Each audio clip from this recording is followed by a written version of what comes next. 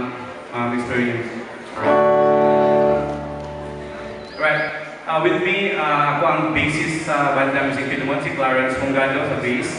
And then, si, si uh, my fellow Bisaya songwriter, Jude Gitamondoc, that worked with